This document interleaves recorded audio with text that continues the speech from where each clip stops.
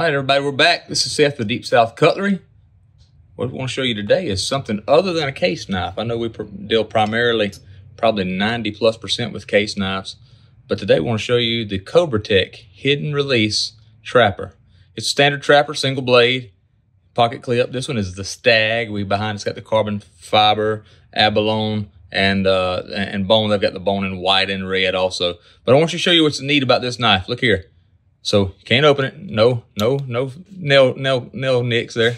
You take here, push the bolster, and there it is. Locking blade, see how that bolster pushes there? Locking blade, shut it right back, and there it is. Cobratec, we sell these without the fronts. Uh, and the hidden hidden trappers, several other Cobratecs. Oh, to be to add one more thing to it, they do come with a lifetime warranty made in USA. Deep South Cutlery. Good times, great knives. Y'all come and see us.